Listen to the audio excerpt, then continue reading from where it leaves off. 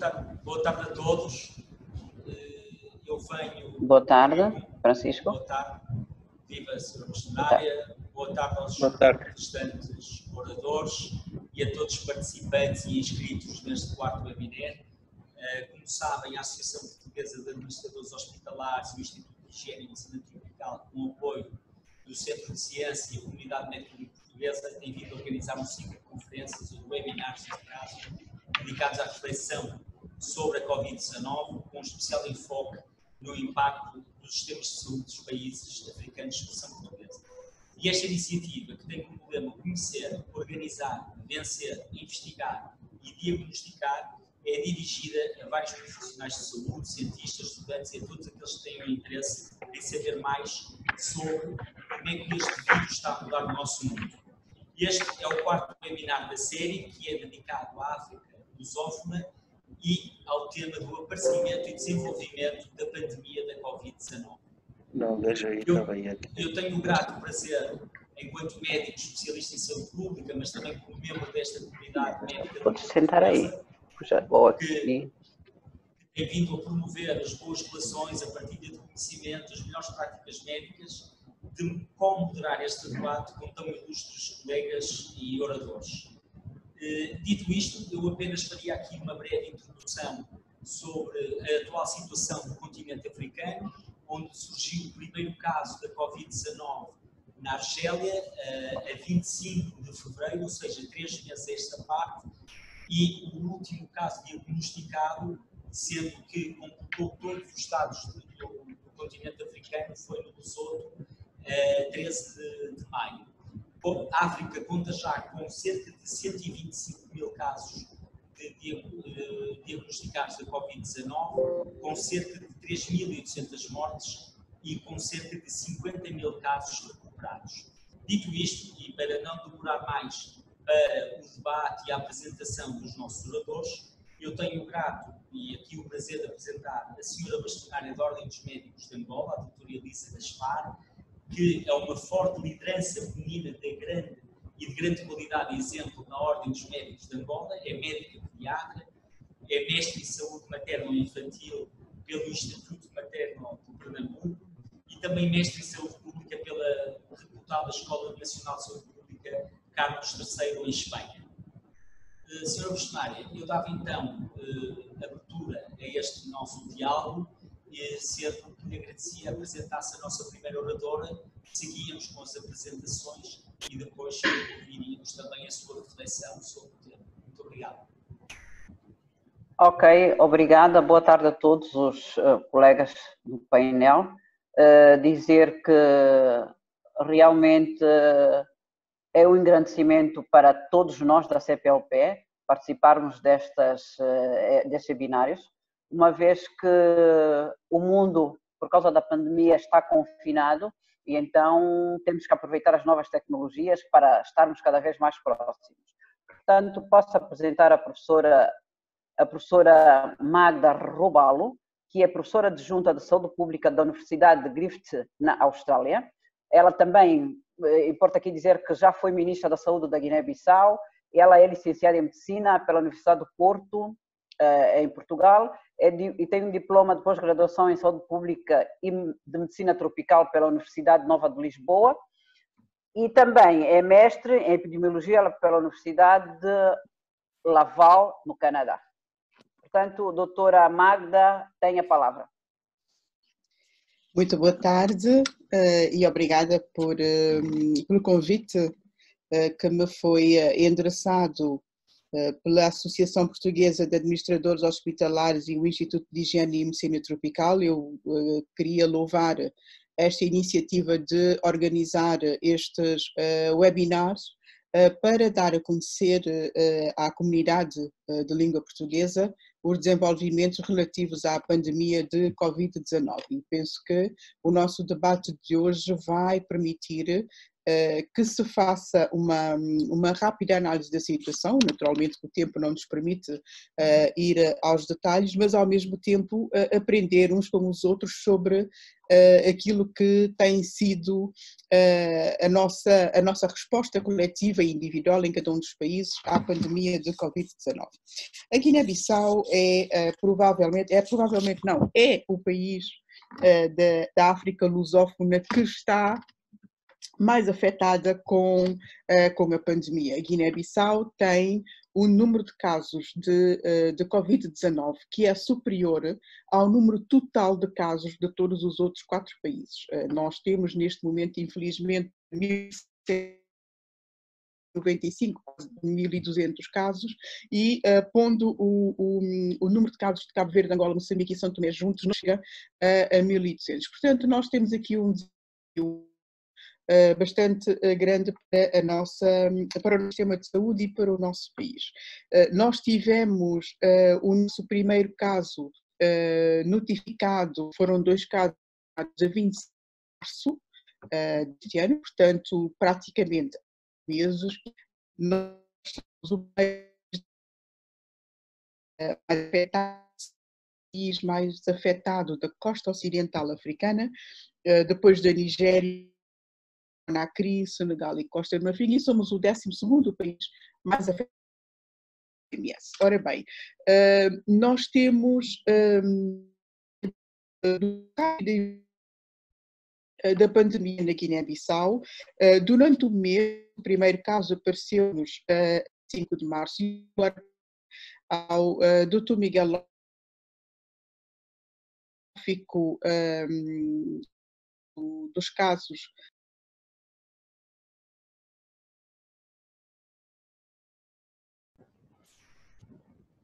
creio que perdemos a, a doutora Magda. A doutora Magda está a nos ouvir? Tem o microfone desligado neste momento. Sim, eu estou a ouvir. Ah, a ouvir? Perfeito. Agora sim, de novo. Uh, uh, os nossos dois primeiros casos importados foram detectados a 25 de março, mas curiosamente não foram esses dois casos que despoletaram a epidemia na Guiné-Bissau. Nós tivemos, a 10 de março, uma visita de um empresário à Guiné teve contato com eh, vários empresários e uh, individualidades com quem faz negócios na Guiné-Bissau e foi esse o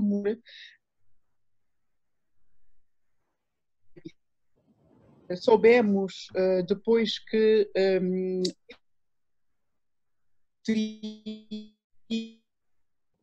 um, por uh, tivemos, portanto, uma transmissão local eh, originária desse primeiro caso, eh, que foi o caso, digamos assim, importado de, uma, de um visitante que esteve, que esteve na Guiné-Bissau. Tivemos o retorno de vários guineenses na China que felizmente não eram eh, do vírus e, portanto, como dizia, a nossa uh, epidemia partiu de uma transmissão uh, despoletada pela visita de um empresário. A uma comunitária que evoluiu finais, nomeadamente e especificamente a partir do dia 26 de abril Covid. Portanto, tivemos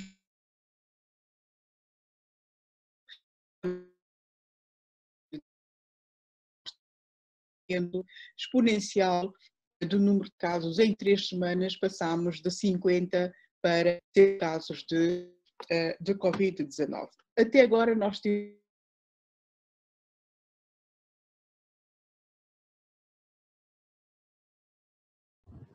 Doutora Magda, nós infelizmente estamos com algumas dificuldades em ouvir a, a doutora Magda. Doutora Magda, está nos ouvir? Estamos a ouvi-la com algumas interrupções, infelizmente. E creio que será da ligação. Pois, talvez seja da internet uh, que, que me esteja a pregar partidas estranhamente hoje, porque uh, habitualmente corre sempre muito bem. Estão-me a ouvir? Agora estamos a ouvi-la perfeitamente. Okay. Vamos continuar, uh, obrigado. Nós estava a falar da transmissão local do caso importado do empresário. E, entretanto, a primeira morte ocorreu no dia 26 de abril, eh, nessa altura, nós tínhamos cerca eh, de 50 casos de Covid e quando registámos a primeira morte, a 26 de abril, um mês depois de termos notificado o primeiro caso, nós assistimos a uma evolução exponencial do número de casos na Guiné-Bissau. Estava aqui a pedir o gráfico que eu partilhei, não sei se o Dr. Miguel Lopes me consegue pôr no ecrã o gráfico só para ilustrar a evolução eh, de casos que nós tivemos, passámos de 53 casos a 26 de abril para cerca de mil no espaço de três semanas. Nós temos, ora aí está, este gráfico representa a evolução, como podem ver, de 25 de março até 26, 27 de abril, nós ainda tínhamos eh, uma cinquentena de casos e a partir daí eh, houve uma explosão. A primeira morte foi uma morte de um, de um alto responsável do Ministério do Interior que terá estado envolvido em atividades uh, várias a nível de todas as regiões do país uh, e a partir daí nós tivemos uma, uma explosão de casos que afetou vários membros do governo, incluindo o primeiro-ministro, afetou vários médicos, enfermeiros e pessoal administrativo do sistema de saúde, eh, vários polícias e outros membros do Ministério do Interior e tivemos portanto, uma, uma explosão eh, de casos que estamos hoje a tentar gerir. Em termos de mortalidade, nós temos registrados oficialmente oito mortes, estamos a analisar a situação de seis mortos cuja causa de morte está a ser eh, verificada, mas pensamos que uh, pelo menos cinco deles terá sido de facto mortes por Covid e não mortes com Covid, mas está, a equipa clínica está a avaliar esta, essa situação e naturalmente que um, a maior parte dos nossos casos, para lá de 85% dos casos, são situações assintomáticas, mas nós poderíamos ter controlado eh, esta explosão eh, de casos, e mais tarde vou falar eh, dos desafios que nós temos tido na, na, na gestão da nossa epidemia, se as medidas de isolamento tivessem sido mais drásticas e melhor implementadas. Portanto, neste momento nós temos uma transmissão comunitária a nível da capital Bissau, nós temos quatro regiões que também já registaram casos, uh, nomeadamente uma região próxima de Bissau, que é a região de Biombo, mas Bafatá, Gabu e Cacheu também já registaram casos, nomeadamente Cacheu, que tinha casos diretamente ligados ao empresário que visitou a Guiné-Bissau no mês de março.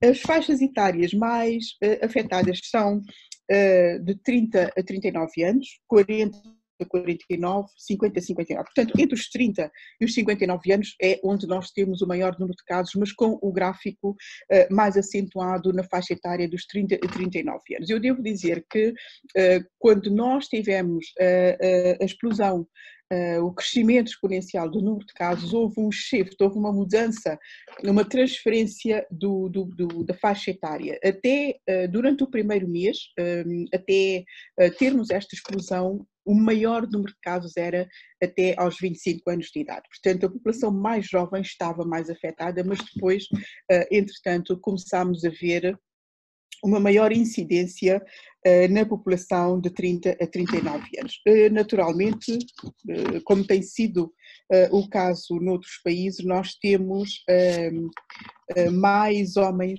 do que mulheres afetadas por por Covid. Também já tivemos uh, crianças afetadas, inclusivamente uma morte numa, numa criança, mas é sobretudo uh, homens adultos que estão a ser afetados. E em caso de, uh, em termos de mortalidade, nós estamos a ver, como tem sido o padrão noutras partes do mundo, as pessoas com comorbilidade, nomeadamente diabetes e hipertensão, a serem vítimas de, de casos mais de casos mais graves e ocorrer a morte.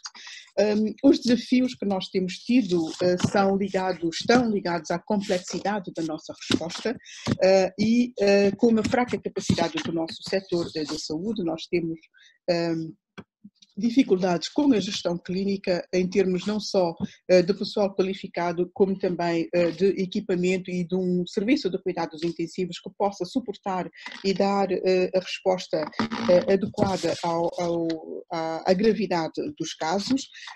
Nós também temos, em termos laboratoriais, uma capacidade ainda fraca eh, de diagnosticar os casos. O laboratório eh, que está a responder é um laboratório eh, de saúde pública, mas que não tem capacidade para atender na periferia. E isso tem a nossa capacidade de seguir e também fazer o seguimento dos casos uh, suspeitos. Eu não sei se continuam a ouvir-me bem, uh, tenho indicação de que há eh, instabilidade da internet.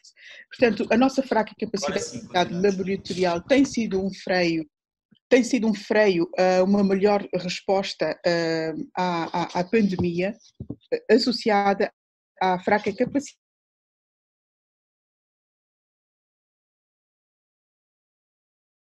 prevenção e controle da infecção. Nós, eu falei uh, de um período onde nós tivemos médicos, enfermeiros e pessoal administrativo do, do, do sistema de saúde, nomeadamente dos hospitais, afetados com, uh, com a doença porque a prevenção e controle da infecção é muito fraca. A utilização dos, dos EPIs uh, e das medidas de higiene a nível da estrutura hospitalar é ainda muito, muito fraca a parte da, da, gestão da vigilância epidemiológica, gestão e análise de dados também tem uh, algumas um, deficiências e uh, temos constatado que uh, existe pouco recurso à pesquisa, à investigação e à utilização de factos e evidência para sustentar e guiar as estratégias de resposta.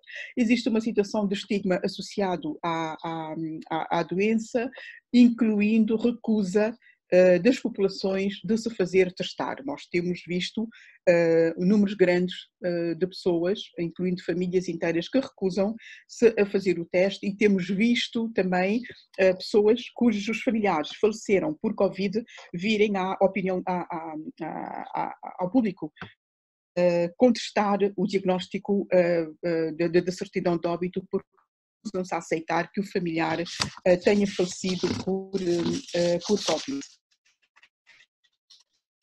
concluir, eu vou mencionar que naturalmente esta crise sanitária na Guiné-Bissau acontece a meio de uma crise política muito que não é segredo para, para ninguém e que torna naturalmente a nossa capacidade de resposta ainda muito mais, eh, muito mais fraca. A infraestrutura económica e financeira para suportar um, ehm, as medidas de emergência que foram tomadas é muito fraca, nomeadamente uh, o estado de emergência que foi uh, instaurado uh, no dia 28 de março levou a zero a mobilidade dos meios de transporte e fez com que a população tivesse muito pouco acesso a, a, infraestruturas, de saúde, cuidados de saúde, acesso a cuidados de saúde para outras patologias, nomeadamente uh, VIH-Sida. Guiné-Bissau é dos países da costa ocidental da África com prevalência eh, de VIH, eh, tuberculose, malária, portanto nós corremos o risco de ter uma mortalidade e um excesso de mortalidade causada por outras doenças, não o Covid-19, mas isto é uma, uma situação que ainda não está documentada e que provavelmente eh, possa nem vir a estar documentada. Isto também acontece no período em que a Guiné-Bissau tem uh, a sua maior atividade económica que está relacionada com a campanha da castanha de caju, o nosso principal e único uh, uh, recurso de exportação. Eh, é esta altura em que normalmente um, os exportadores ocupam-se de um, recolher comprar e vender a castanha de caju, com a economia mundial fechada, com os aeroportos fechados, nós não temos uh, nenhum uh, interesse estrangeiro na compra da castanha de caju, o que vem empobrecer uh, ainda mais a população. pobreza. Como devem saber, dois em cada três guineenses vivem num estado de pobreza multidimensional e um em cada três guineenses é vítima de pobreza multidimensional, multidimensional grave.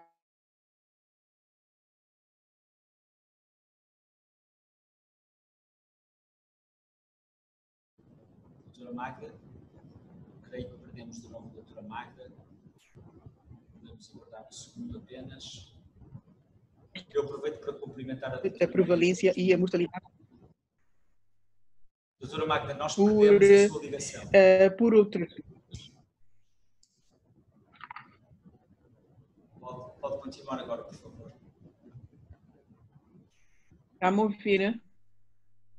Sim, estamos. Uh, também estou, estou, a terminar. Uh, as desigualdades sociais estão acentuadas ainda mais neste período.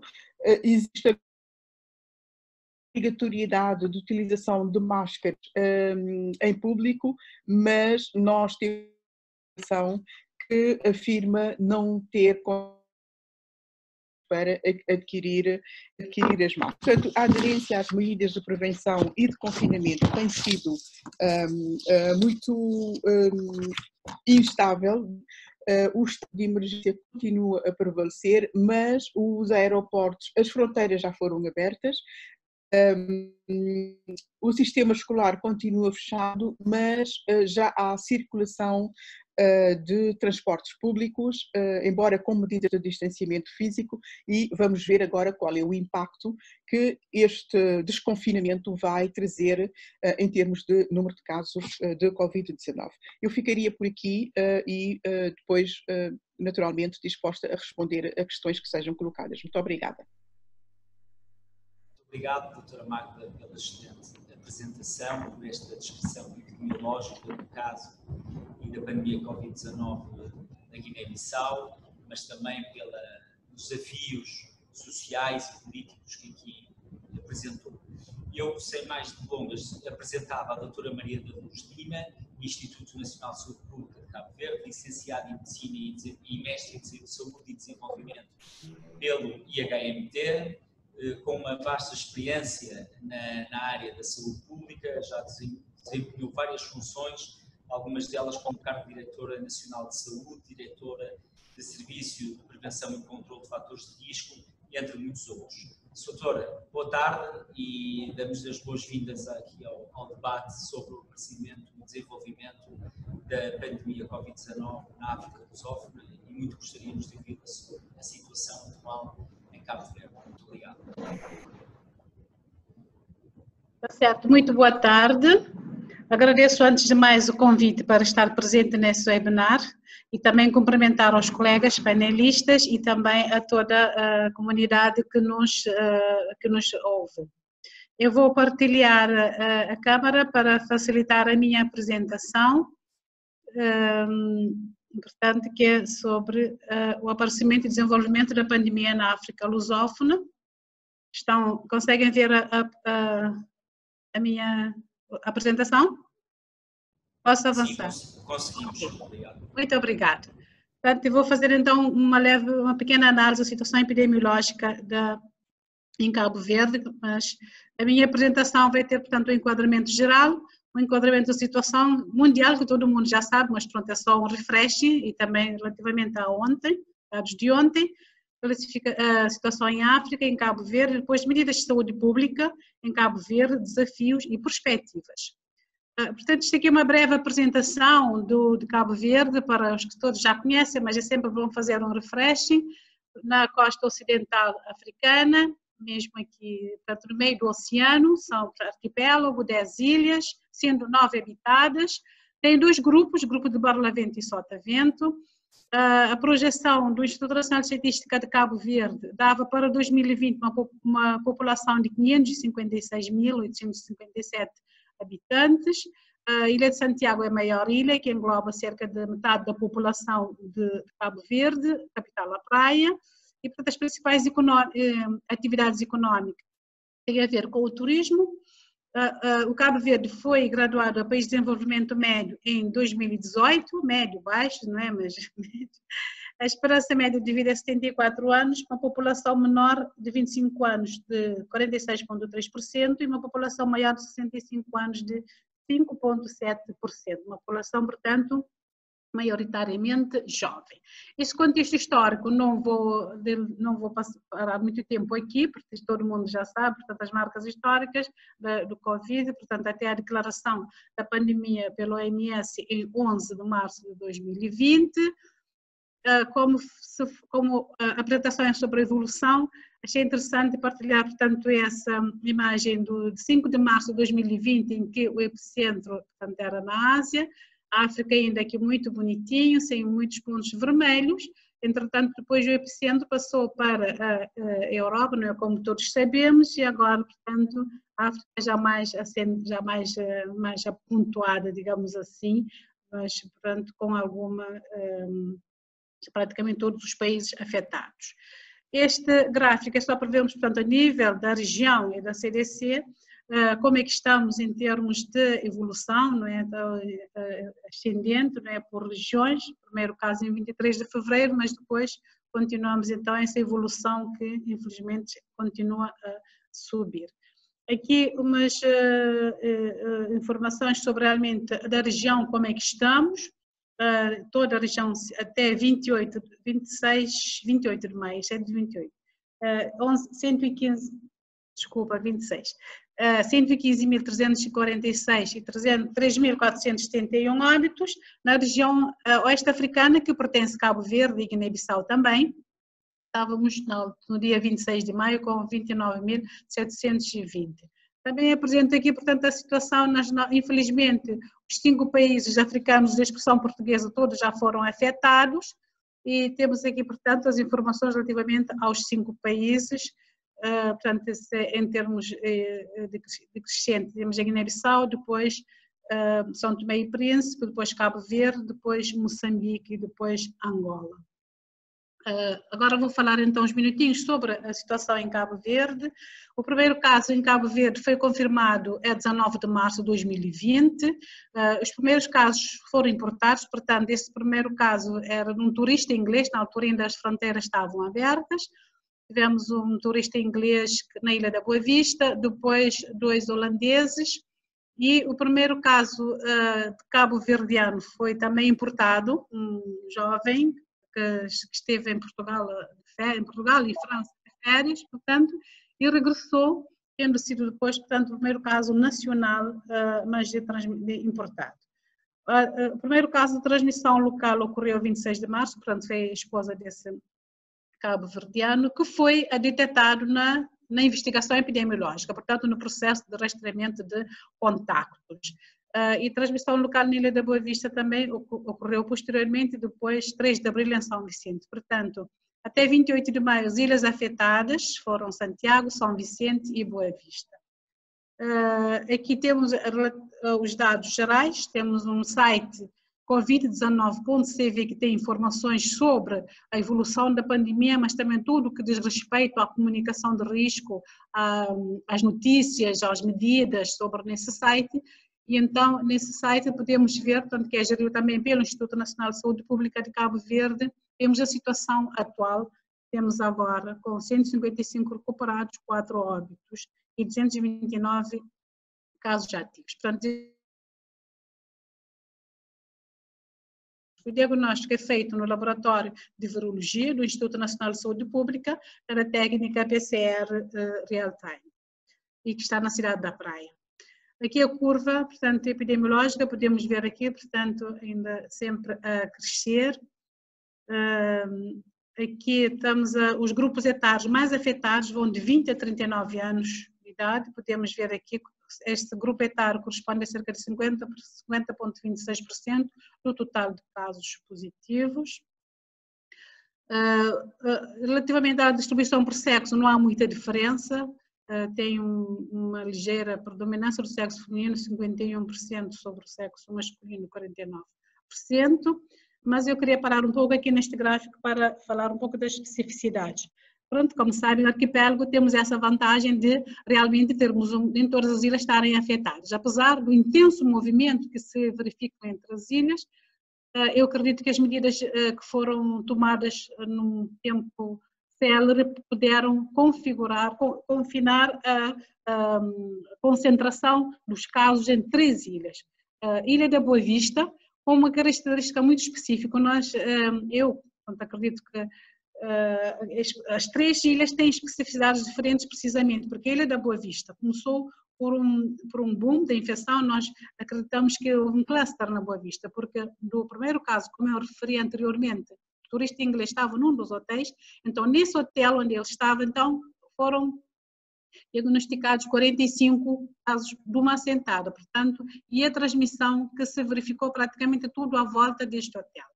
Depois temos Ilha de São Vicente, em que uh, tivemos um caso confirmado de PCR em real time, numa senhora que esteve em contato, portanto, com uma filha que também veio da Europa. Então, os, em São Vicente tivemos um total de três casos e precisamente os três membros dessa mesma família.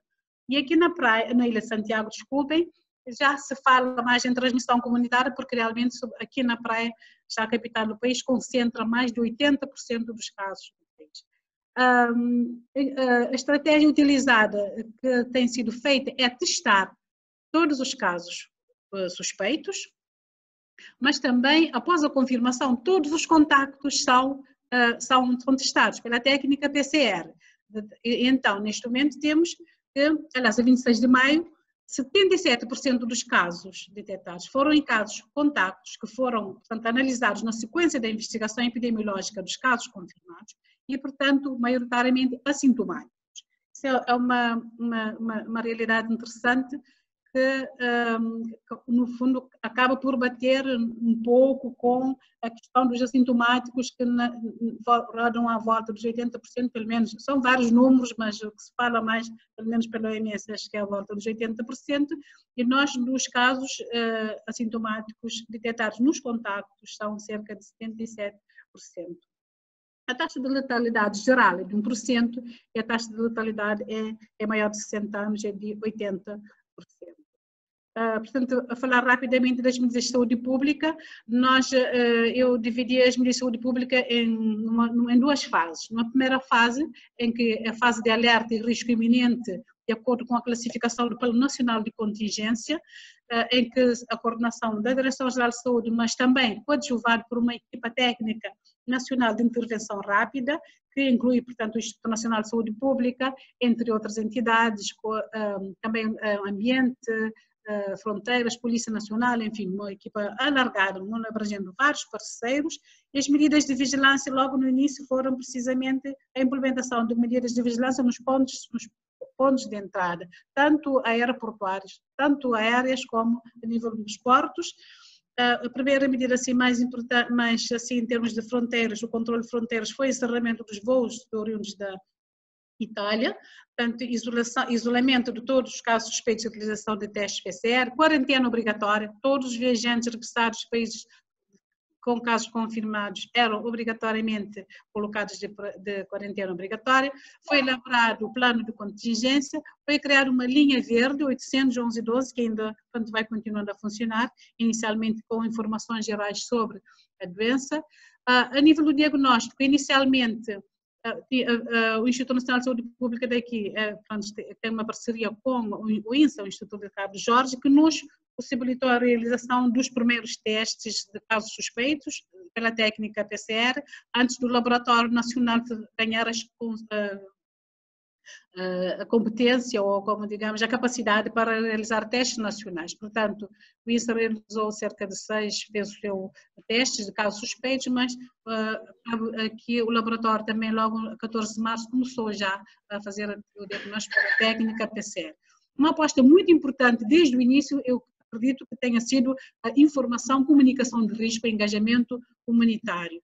Portanto, as atividades de, de, dessa informação e sensibilização da população começaram já em janeiro, logo após a confirmação do, do, a informação da OMS e a confirmação da, da, da, da epidemia, portanto, do,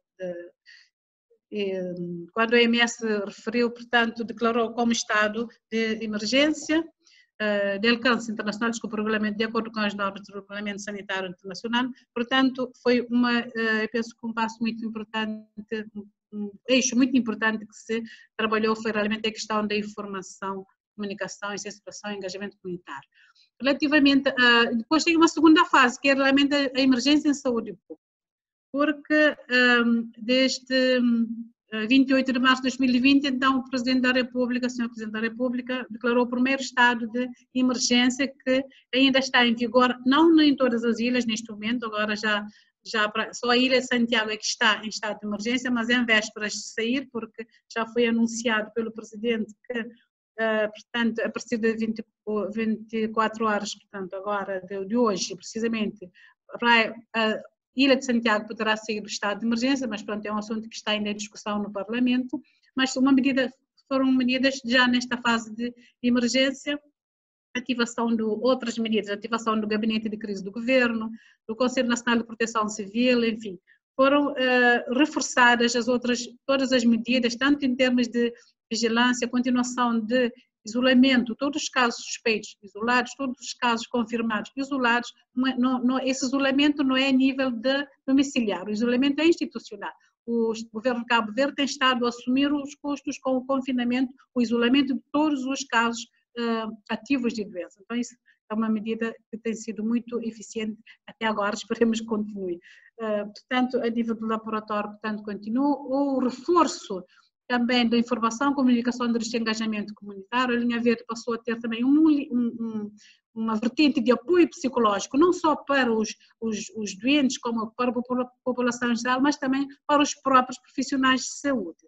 Um, pronto, e outras medidas comunitárias podemos, podemos ver aqui, o confinamento domiciliar, mas que também advém do estado de emergência, distanciamento social, enfim, o uso obrigatório de máscaras neste momento, encerramento de estabelecimentos comerciais, eventos desportivos, as escolas foram encerradas logo no, no, no início da, da, epidemia. Só tenho mais dois slides, portanto tenho este aqui que relativamente são alguns ganhos, não são, eu penso que o país tem estado a ganhar muito, uh, com essa experiência. Eh, eu penso que o controle da epidemia nas ilhas sem casos até agora e nas ilhas de São e Boa Vista, que neste momento não apresentam nenhum caso ativo, neste momento os casos ativos estão todos na Ilha de Santiago, portanto, é um ganho muito importante, e o reforço da intervenção multissetorial. A multissetorialidade que funcionou, uh, isso é muito importante. Há outros, também outros ganhos de liderança, a questão da capacidade do laboratório que tem estado a ser diariamente uh, melhorada, isso é muito bom dar uma certa confiança na, no diagnóstico feito, no diagnóstico que está-se a fazer, ativação do Centro Nacional de Operações de Emergência em Saúde Pública, que estava operacional e a pouco e pouco vai trabalhando ainda muito discretamente, mas com certeza irá ter mais trabalho nos próximos dias. Desafios, barra constrangimentos, portanto, como sabemos, aqui as, as, ilhas não têm alguma limitação, eh, sobretudo aqui Cabo Verde, que tem a fonte, principal fonte de economia o turismo, né? portanto o encerramento dos aeroportos influencia não só o turismo, mas também a questão da disponibilidade de consumíveis, reagentes, laboratório, equipamentos de proteção individual, equipamentos de laboratório, enfim, às vezes é um bocadinho complicado, mesmo faça aquisição, mas depois para chegar a Cabo Verde por via aérea é um bocadinho complicado por causa das fronteiras encerradas, mas pronto, tem é um bom constrangimento de utilizar muitos barcos que demoram o seu dia, mas enfim. A questão das medidas de confinamento domiciliar, que aqui na praia não, nós não fizemos nenhum estudo, mas eu penso que será objeto de estudo proximamente, realmente adesão medidas de confinamento domiciliar, sobretudo aqui na cidade da praia, se essa medida tivesse sido uh, uh, absorvida 100% da população, com certeza que nós estaríamos com muito menos casos. Depois, pronto, tem outras questões que têm a ver lá com, com as limitações já não de agora, como a questão da insuficiência de recursos humanos para a gestão investigação de casos, limitação de recursos financeiros também, mas pronto, tem estado, o governo tem estado a, a tentar, através do Banco Mundial e por outros, o OMS também tem apoiado, o OAS, enfim, tem dar uma resposta mais célere, de fazer assim um forcing grande para que realmente uh, o país não seja muito afetado por esta epidemia. E agora, um grande constrangimento é, é a manutenção desses ganhos de melhoria, desses, uh, do tudo que o país conseguiu até agora, agora após a saída do estado de emergência, nós estamos com essa preocupação aqui a nível da, da, da Ilha Santiago, portanto, que é a principal ilha. Muito obrigada pela vossa atenção.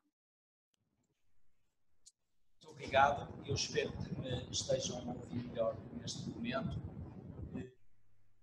Gostaria de agradecer à doutora Maria da Luz pela sua intervenção, pela descrição que aqui deu sobre a situação atual uh, em Cabo Verde também por todos os desafios e as estratégias aplicadas, como, bem referiu, das medidas de saúde pública, das, diferentes fases e dos desafios agora uh, a alcançar.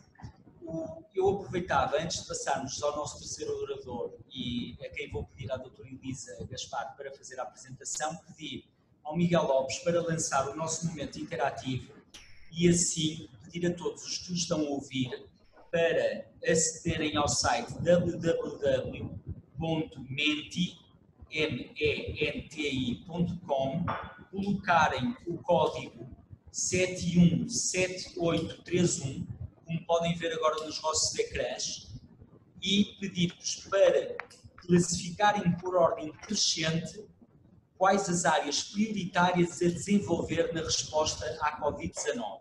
Isto servirá para, mais daqui a pouco, podermos uh, lançar qual foi a resposta dos nossos uh, uh, inscritos e ouvintes e também fazermos alguma discussão com os dados recolhidos. Podem ver em cima, eu vou repetir www.menti.com, colocam o código 717831 e colocam por ordem crescente quais as áreas prioritárias ou as vossas opções de áreas prioritárias a desenvolver na resposta à Covid-19.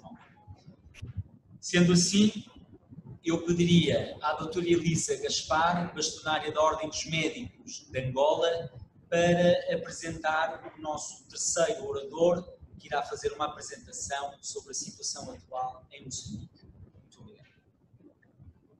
É, obrigada. Uh, também agradecer à doutora Magda e à doutora Maria da Luz pela brilhante apresentação e passo a apresentar o doutor Eusébio Chaquice, que é chefe do Departamento de Cuidados de Saúde primária do Ministério da Saúde de Moçambique, ele que é médico especialista em saúde pública, professor da saúde pública na Universidade Católica e Faculdade de Medicina da Universidade Eduardo Mondlane em Moçambique e é membro do Colégio de Saúde Pública. Doutor, por favor, tenha a palavra.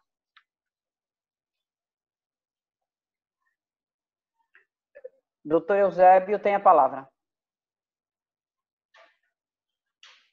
consigam ver a, a, minha apresentação? Sim, sim, estamos a ver. Muito bem. Um, eu queria, em primeiro lugar, agradecer esta oportunidade uh, que nos é dada para falarmos um pouco e partilhar uh, esta, esta, as experiências que estamos a ter como país no âmbito de Covid-19. E, em segundo lugar, agradecer, deve ter sido em primeiro, agradecer aos organizadores uh, e dizer que, na verdade, Moçambique uh, é um dos países uh, da África subsaariana. Aí está o, o, o, nosso mapa e a localização do país. Mas antes disso, queria só dizer que a minha apresentação vai ter basicamente quatro pontos importantes. É um pouco falar do, contexto no âmbito global, da vigilância e, epidemiologia que o país tem estado a arrestar e das medidas de resposta à pandemia, portanto, do, do Covid-19 e, eventualmente, os desafios. Um, o que quero aqui uh, apresentar é que, quando a Organização Mundial da Saúde declarou uh, a, epidemia de Covid como uma emergência de saúde pública, Moçambique iniciou também com aquilo que era a elaboração do Plano Nacional de Resposta à Covid. E nesta altura, em, a 11 de março, quando declara uma, uma pandemia, o país já tinha começado a desenvolver seu plano, tanto de resposta à Covid, no âmbito daquilo que é as, as orientações uh, de, da Organização Mundial de Saúde, mas também do regulamento internacional. Ah, queria só dizer que o, o país, quando começou a, a ver a, a, informação sobre Covid já na China, o país iniciou também com aquilo que era a preparação que era importante fazer para que de facto possamos fazer uma resposta uh, importante a esta pandemia do Covid-19. Um, um, aspecto eh, eh, importante é que o país já vem com uma experiência de, portanto, dos desastres portanto, que existiram no âmbito, portanto, uh, uh, no, no, no, centro do país, no norte do país, uh, que tiveram também, foram desastres naturais e que o país teve que aprender um pouco sobre, sobre isto. Daí que a nossa resposta foi iniciada precocemente uh, em relação a, àquilo que era o desenvolvimento da pandemia a nível global. Uh, em relação à, à vigilância, só queria só trazer que, uh, alguma informação importante, que nós iniciamos aquilo que é a nossa contagem em termos de casos no país a 23 de março, portanto, quando um cidadão moçambicano portanto, regressou portanto, do estrangeiro, e nós iniciamos a partir da semana 12, a epidemiológica 12, e tivemos ao longo do tempo alguma tendência do aumento do número de casos, mas depois, na semana de 18 e 19, eh, houve como se, como se fosse uma variação, e a partir daí iniciamos com o aumento do número, portanto, de casos. Uh, inicialmente eram casos esporádicos e começamos agora a ter aquilo que são a transmissão por, portanto, agrup, agrupamento de casos. Uh, um aspecto importante é que já nesta altura, a partir já da, da semana de 14, o país começou a ter, portanto, um aumento daquilo que era o número de casos, ou seja, uh, o índice de positividade, porque, porque nós tivemos no norte do país portanto, no acampamento da FUNS, um, portanto, um, um, um, um início, portanto, de, uma, de, um, de um aumento de casos e que se, que se deveu, portanto, a, a, um, a, a um caso que, que foi diagnosticado, por sinal, aqui em Maputo, e depois nós tivemos que fazer toda a atividade que era importante de rastreio naquele acampamento, daí que o número de casos, portanto, nós conseguimos aqui ver aquilo que é o índice de positividade, portanto, um bocadinho, um pouco mais elevado, é comparado com, portanto, os restantes períodos, portanto, epidemiológicos. E a partir daqui nós podemos ver que os casos, portanto, de, de, de, de, Covid uh, tiveram sempre a tendência de aumento e, como podem ver, atualmente o país excluindo o dia de hoje, o país tem cerca de 233 casos, e, portanto, com alguma variação. E o que eu devi, devo dizer aqui é que, até agora, a semelhança da colega, portanto, de, de, de Guiné-Bissau e de Cabo Verde, até agora nós temos o único laboratório que está uh, localizado aqui na, na Maputo, onde as amostras são transferidas, portanto, de, de, de todos os pontos do país para, para Maputo, que é o Laboratório do Instituto Nacional de Saúde, onde são feitas, portanto, as, uh, os testes. Uh, atualmente, o que nós podemos ver aqui a partir deste gráfico, uma distribuição uh, um pouco desigual ao longo do, do, país. Podemos ver a província de Cabo Delgado, com maior, portanto, a província que reporta maior número de casos, Uh, e quero voltar a, a lembrar, minha, no início da minha apresentação, eu dizia-vos que os primeiros casos em Cabo Delgado surgiram, foram notificados, portanto, na, no acampamento da FUNS, e foi necessário que o Ministério da Saúde iniciasse um trabalho, vamos assim dizer, de rastreio de todos, portanto, os, os trabalhadores daquela, daquela empresa e, e, e, e também fazer uh, o segmento dos casos que portanto, estariam relacionados com, com, estes, portanto, com estes trabalhadores. E podemos também ver aqui a, a, a cidade de Maputo e a província uh, de Maputo, que estão cá para o sul do país, também a reportarem uh, uh, casos a nível, portanto, e, e um pouco mais em relação a outras províncias. E seguidamente temos a província de Sofala, que está no, no centro do país, e nos últimos dias a província de, de, Nampula, que também uh, um pouco já para, para um pouco para, para baixo de, de, Cabo Delgado, a reportar também números crescentes. E atualmente o país tem em quase todas as províncias, portanto, reporte de casos de, de Covid. Aquilo que é a população que é atingida pela, pela, pela pandemia do, da Covid-19 é que nós temos uh, cerca de, de 80% da população, portanto, é, é, é, é moçambicana e, e, e, 40, e cerca de 21% é estrangeiro. E depois temos também esta desproporcionalidade comparado com aquilo que nós vimos na apresentação anterior, o maior número de pessoas que são afetadas pelo problema ou infectadas pelo problema são, tanto sexo masculino, representando 72%. Uh, uh, face a, esta, um, a, a, estes números e face a, a, a dimensão do problema, uh, o país uh, tomou a decisão também de, de declarar estado de emergência de âmbito nacional, é pelo decreto presidencial de 11 uh, de 2020, uh, de 30 de março, e que foi depois prorrogado e, e, e, e depois republicado, portanto, a, a 2 de maio. E, nesta altura, a Sua Excelência o Presidente da República cria a chamada Comissão Técnica Científica. Esta comissão é a comissão que tinha como ou tem como objetivo uh, ajudar e, ou recomendar ao Presidente uh, da República sobre as, as, as, questões técnicas e, e, científicas e que deve, devem ser consideradas na tomada de decisões em relação à pandemia, portanto, da Covid-19.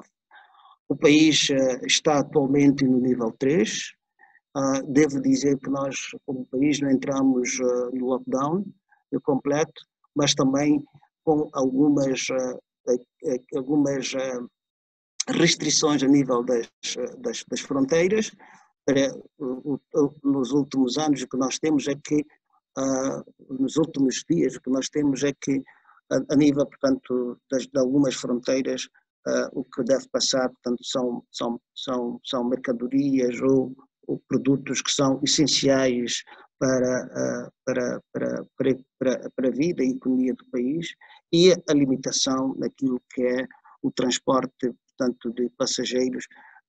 Refiro-me aqui a questão, por exemplo, da limitação, inicialmente, nós, o, o, o governo tinha decidido, portanto, metade que, que, que os transportes públicos deviam ser ocupados a metade, mas depois o que se fez foi uh, mudar esta, esta decisão para que só as pessoas passassem a, a, a ocupar todas as cadeiras e também o, o uso de, das máscaras é obrigatório. Ainda dentro das medidas, um, o desenho do, do, do, Plano Nacional de, de, Resposta ao Covid, uh, este plano uh, teve ou tem como pilar duas grandes áreas. Primeiro, era importante, na altura, quando se iniciou o desenvolvimento deste plano, que o número de casos que fossem surgir não, não, não aumentassem sim de forma eh, tanto súbita. Ou seja, era importante reduzir, criar todas as condições para reduzir aquilo que era a transmissão da doença e por, por, por, por via disto também proteger o Serviço Nacional de Saúde para evitar possível colapso em caso de aumento de casos ou, ou, ou em caso de termos casos que não, não pudessem serem respondidos pelo, o, pelo Serviço Nacional de Saúde. E seguidamente também, e nesses últimos dias, houve o desenvolvimento de uma estratégia de resposta comunitária à Covid-19 e, e, esta estratégia tem uma importante, um importante papel que é o engajamento das, das comunidades. Um aspecto importante que nós consideramos como país no âmbito da resposta à Covid-19 era é encontrar naquilo que são os sete pilares da, da vigilância uh, uh, ou da resposta à Covid-19, portanto, que são os pilares recomendados pela Organização Mundial de Saúde, e, e, e, foi, e foi importante trabalharmos nestas áreas para que, de facto, aquilo que era o desenvolvimento da resposta a nível, portanto, do país fosse efetivo. Uh, naturalmente que uh, grandes ganhos nós temos estado uh, a ter em termos de, de por exemplo, de, na organização da resposta, o fato de que nós temos uma liderança política bastante forte. O próprio Presidente da República é quem lidera o processo e também associado, portanto, a esta liderança, nós sentimos e vemos o envolvimento tanto dos secretários de Estado como dos governadores e a nível, portanto, daquilo que é, é, é, é a gestão de, de, das medidas que são tomadas no âmbito, portanto, de preservar a vida e ou proteger as pessoas. Uh, Há também aquilo que é, e, devo aqui trazer uma experiência bastante positiva, que é o fato de que o setor privado tem contribuído sobremaneira para que, ah, de forma, portanto, única, ah, trazer também a perspectiva de que também parte do processo é parte do desenvolvimento daquilo que são as respostas para esta uh, pandemia. O setor uh, público uh, está envolvido aqui, é que todas as instituições públicas elas estão, portanto, envolvidas na criação de normas também de, de, de, de desenvolvimento de instrumentos ou plataformas que possibilitem, por um lado, proteger as pessoas e, por outro, assegurar que aquilo que são as ações que estão previstas de resposta à Covid, portanto, aconteçam. E depois temos a parte que tem a ver com os parceiros de, de, de desenvolvimento. Um aspecto importante é que, a nível, portanto, da coordenação da resposta, nós temos, estado, temos tido eh, encontros regulares, portanto, que são encontros que são feitos uh, quase todas as semanas, eh, duas vezes por semana. Esses são encontros de coordenação em que participam os setores, e também participam os parceiros e outros, portanto, interessados na resposta. E, e um aspecto uh, importante é que aquilo que são as medidas que foram tomadas, uh, vinculadas através dos diplomas uh, de, de presidenciais, os setores, portanto, aqueles setores a nível também da gestão, a nível das províncias e distritos, tentam encontrar formas de fazer com que estas medidas sejam, portanto, eh, cumpridas. Eh, as medidas, portanto, que as autoridades eh, sanitárias vão desenvolvendo são passadas tanto para, para a, a, a, a nível, portanto, das comunidades, como para a nível, portanto, dos setores. Um aspecto importante é que nós temos estado a ver é que ninguém por exemplo, ninguém entra em nenhum estabelecimento público sem que seja oferecido, por exemplo, material portanto, de higiene das mãos.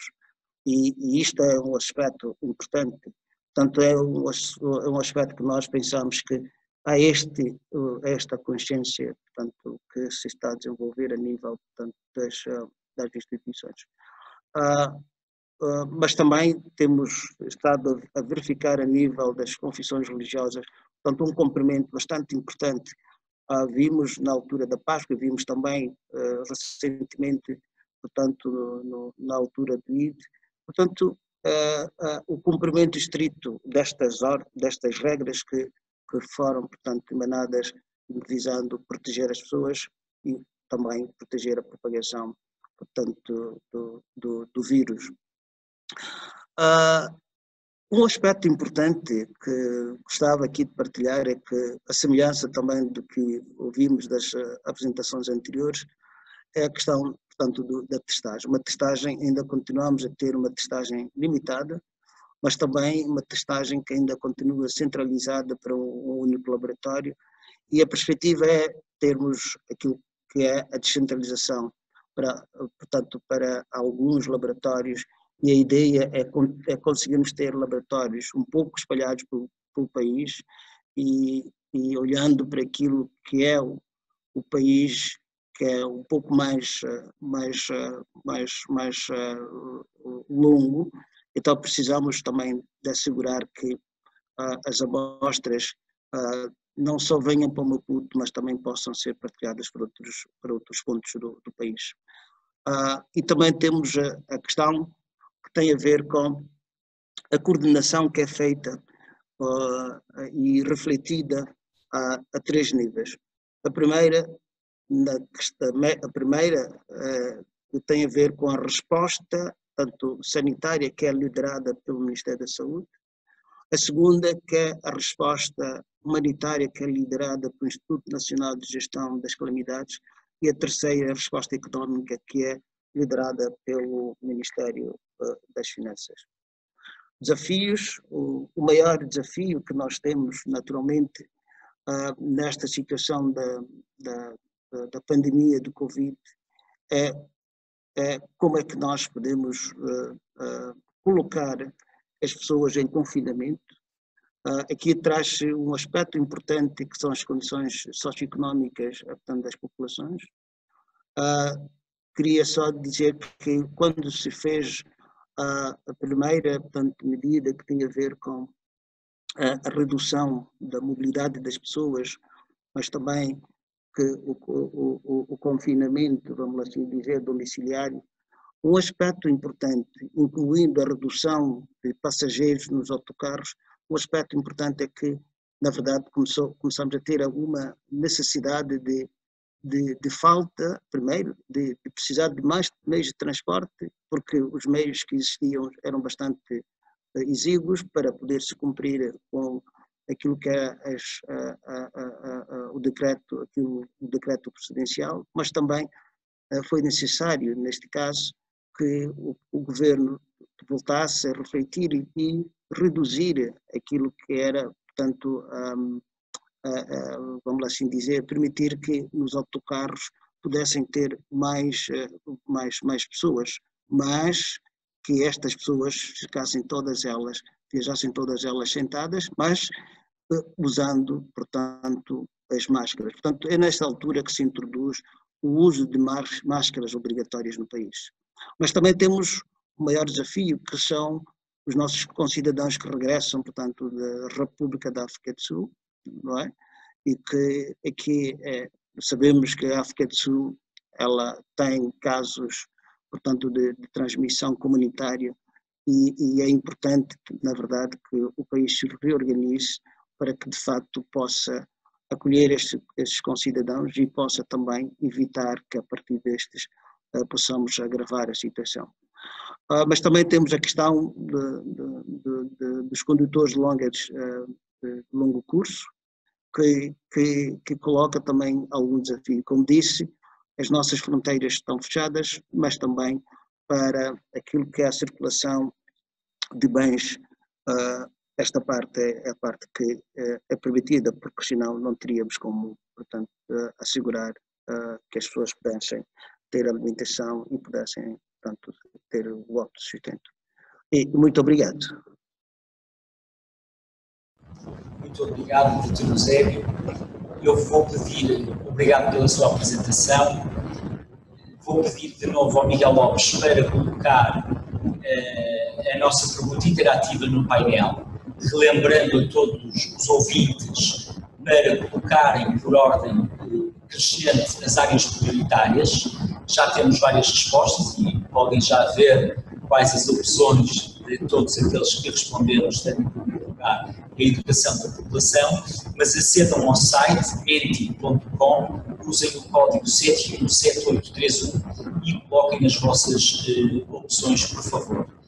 Uh, após isso, ou após a última intervenção, eu agora iria passar a palavra à senhora bastonária, a doutora Elisa Gaspar, para fazer um, um ponto de situação sobre a atualidade epidemiológica e sobre até o aparecimento e desenvolvimento da pandemia em Angola, mas também aproveitando já para lançar o desafio de, e na eventualidade de querer fazer um resumo das intervenções admitidas e, por outro lado, depois lançarmos uh, as nossas perguntas e respostas daquelas que nos têm chegado por via escrita, mas também darmos a oportunidade de alguns dos nossos ouvintes e inscritos intervirem diretamente neste painel.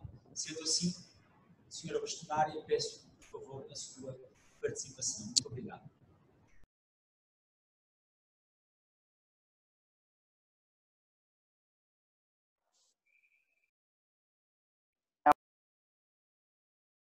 Está? Está a ouvir? Sim? Estamos a ouvir, Sr. Bastonário. Ok. Pronto. Pronto, começaria por eh, fazer um resumo, dizer que nenhum país estava preparado para o Covid-19 ou para essa epidemia. Eh, notou-se que há muita fragilidade nos sistemas de saúde eh, de quase todo o mundo, porque nenhum país estava pronto, nenhum de nós, como pessoas, como profissionais, estávamos preparados para a pandemia. Eh, de salientar que, pelos relatos dos países, podemos perceber que os nossos países foram afetados por pessoas que vinham da Europa, e que foram passando, passando a, a, a infecção aos nacionais desses países que já passaram aqui a, a, a, sua, a, sua, a, sua, a sua apresentação. Uh, dizer que, de uma forma ou de outra, uh, mostra que nós temos que nos unir cada vez mais, mostra que nós temos que trabalhar na investigação científica. Os nossos países têm que se preocupar em trabalhar na investigação científica temos que ter uh, o apoio dos países amigos e nós somos os países de língua oficial portuguesa, então temos que nos ajudar uns aos outros para que haja um sistema normal de investigação a nível dos nossos países com as parcerias que nós podemos captar uh, de outros continentes. Uh, começaria também por dizer que Angola não fugiu à regra, Angola também importou casos, portanto, todos os casos que começaram em Angola foram importados por uh, uh, cidadãos angolanos que se encontravam na Europa. Os dois primeiros casos foram notificados pelo Ministério da Saúde no dia 21 de março. E, tão logo tomou-se as medidas, porque quando a OMS declarou pandemia, Angola naturalmente começou-se a preparar. Começou por fechar as fronteiras, começou por uh, instituir quarentena institucional, quarentena domiciliar. Angola uh, começou, uh, portanto, criou um grupo multi, multissectorial, onde estão todos os ministérios, chamou a Ordem dos Médicos, chamou os colégios de especialidade para trabalharem na, na, dentro da comissão multissectorial esta, essa, essa, essa, esse, esse grupo reúne-se todos os dias, essa comissão multissectorial reúne-se todos os dias e todos os dias há uma conferência de imprensa onde se dá o ponto de situação de Angola. Por exemplo, nós hoje temos 77 infectados, temos 18 recuperados, 45 que é de transmissão local, temos 32 casos importados, temos um caso pronto, que veio, de, veio do Brasil, um veio da África do Sul e 30 casos que vieram da Europa.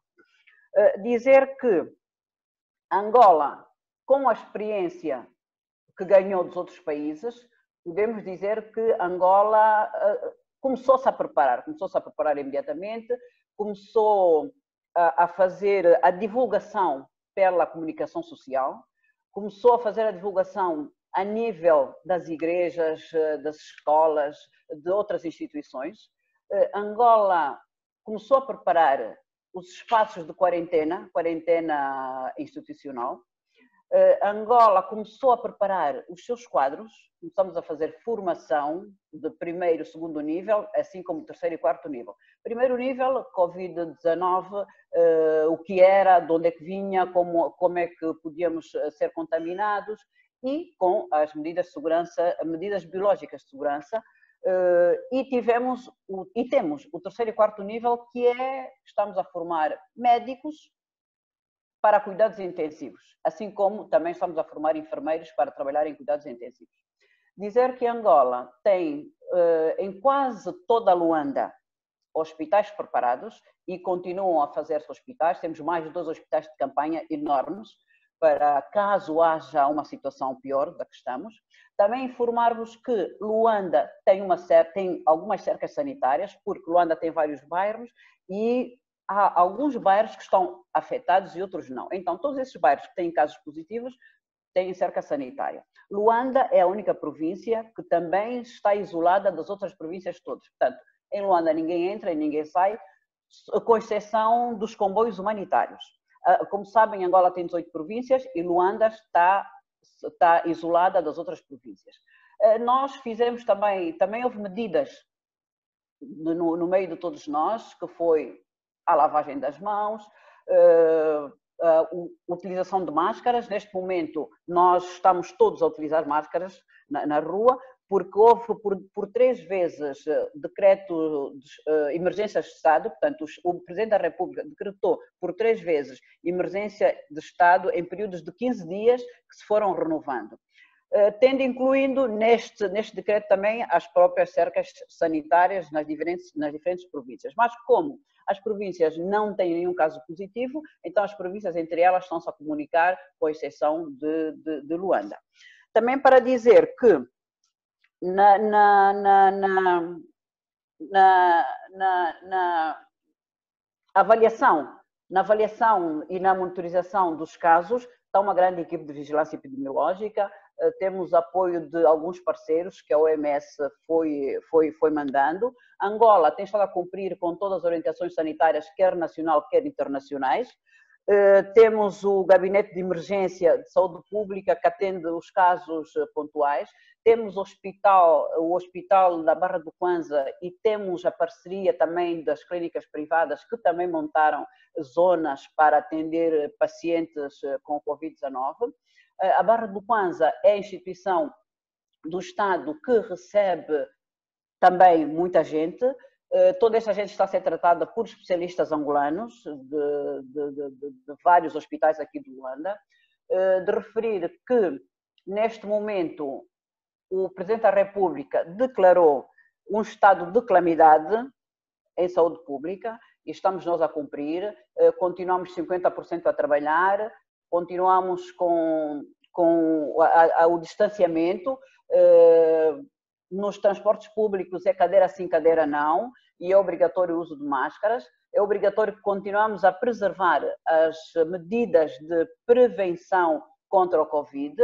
Eh, já se vê estas pessoas na rua, quase todas, a utilizarem as máscaras.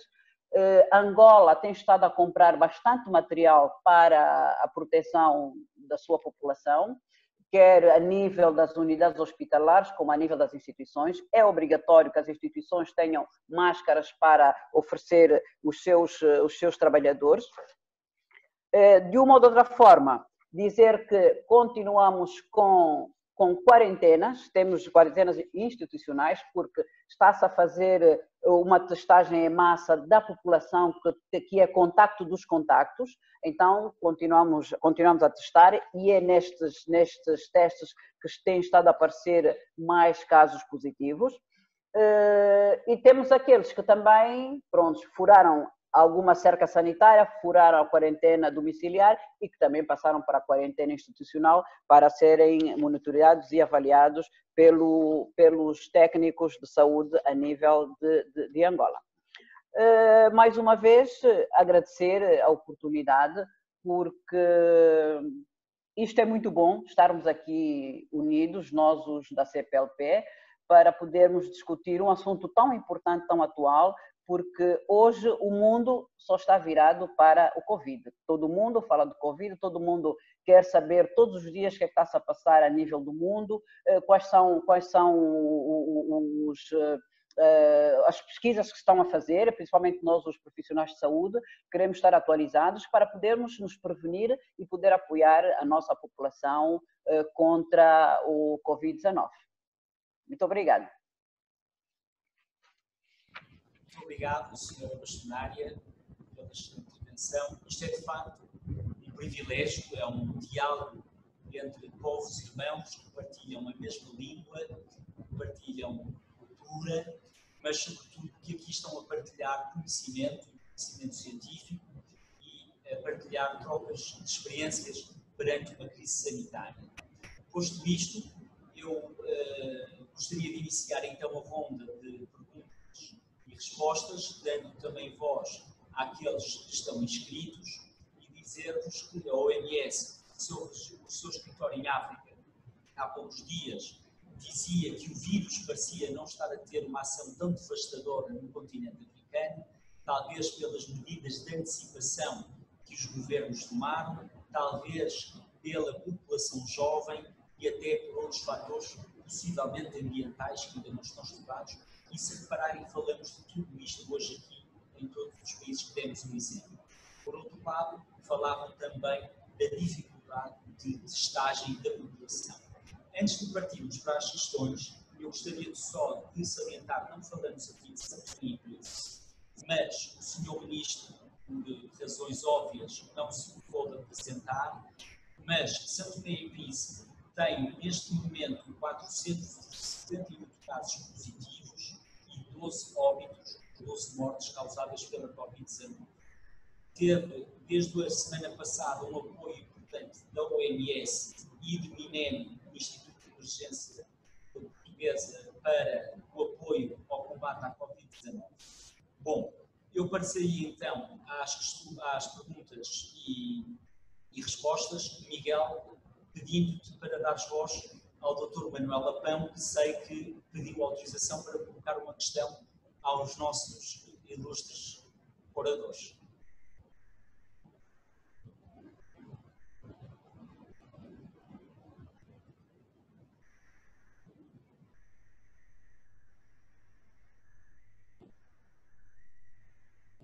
Não sei se o Dr. Manuel Lapão poderá ouvir-nos. Já está a entrar. Lapão.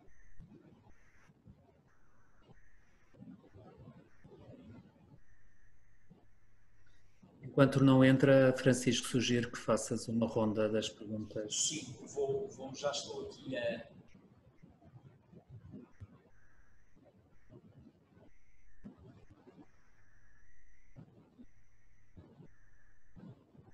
eu faria uma primeira pergunta que achei bastante interessante e que é válida para todos, mas houve uma pergunta da, da, da colega Débora Ferreira que pergunta se em Cabo Verde foi lançado um atendimento médico por via telefónica, se foi essa uma das opções do Sistema Nacional de Saúde, e se há alguma linha similar para um atendimento psicológico ou apoio psicológico àqueles que estão confinados ou em quarentena domiciliária ou até institucional.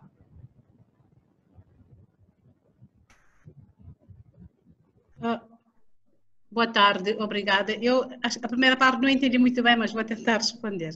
Um, relativamente à segunda questão que colocou sobre o, sobre o isolamento, uh, isolamento domiciliar, não, não, não, ainda, ainda não estamos a fazer. Até agora, todos os casos positivos têm estado a, a ser isolados em hospitais, os hotéis, os casos graves, hospitais, né, os casos menos graves, sobretudo assintomáticos, hotéis, escola de hotelaria turismo, algumas parcerias que têm havido. Mas todo esse custo é assumido pelo governo de Cabo Verde. As associações, a única associação que tem estado a acompanhar o, o, Ministério da Saúde é a Cruz Vermelha de Cabo Verde, que tem inserido um espaço para isolamento de casos confirmados de, de, de, de SARS-CoV-2, do vírus, não é? portanto, são maioritariamente assintomáticos. Casos mais complicados, ou que têm alguma comorbilidade, ou que precisam de uma assistência especial, são, ficam nos, nos hospitais eh, normalmente. A outra questão que colocou...